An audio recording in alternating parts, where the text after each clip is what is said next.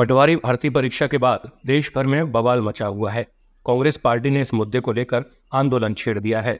इस बीच ग्वालियर के फूलबाग चौराहे पर कांग्रेस पार्टी के प्रदेश महासचिव और ग्वालियर विधानसभा के नेता सुनील शर्मा के नेतृत्व में विशाल आंदोलन, धरना प्रदर्शन और पुतला दहन किया गया, जिसमें मध्य प्रदेश में हुई पटवारी भर्ती परीक्षा में व्यापक धांधली के विरोध में दोषियों पर कड़ी कार्रवाई की मांग को लेकर कांग्रेस नेताओं द्वारा भारतीय जनता पार्टी के नेताओं का पुतला दहन किया गया।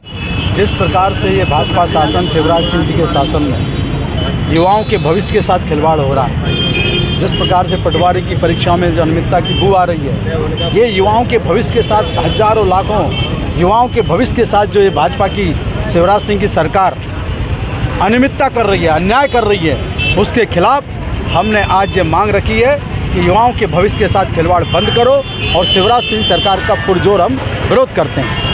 अगर आपकी सुनवाई नहीं होती तो आगे क्या कुछ जवाब देखिए लोकतंत्र में कांग्रेस पार्टी सदैव जनता के हितों में युवाओं के महिलाओं के किसानों के गरीबों के छोटे व्यापारियों के लिए संघर्ष करती रही है।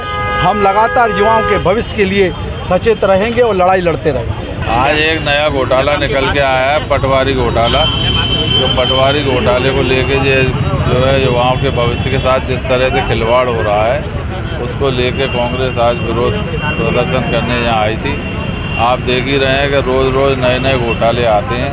कभी महाकाल कॉरिडोर घोटाला होता है कभी जो है नर्सिंग घोटाला। तो ये जो है रोज़ एक नए घोटाले हो रहे हैं और ये बात सही है कि सरकार बिल्कुल अब निरंकुश हो चुकी है। सरकार अपनी मनमानी कर रही है। गृह मंत्री जी क्या कहेंगे? गृह मंत्री जी को सोचना चाहिए कि सर, चलते सड़क पर एक बच्ची को सरेआम गोली मार देते। बताइए आप, इससे ज़्यादा दुर्भाग्य क्या होगा?